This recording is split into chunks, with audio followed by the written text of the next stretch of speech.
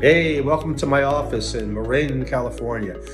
I'm Dr. Jeff Rockwell, and I'm coming to Dallas September 30th to teach myofascial therapy in the context of a chiropractic practice.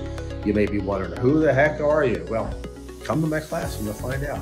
I'm a lot of fun. We're going to have a lot of fun.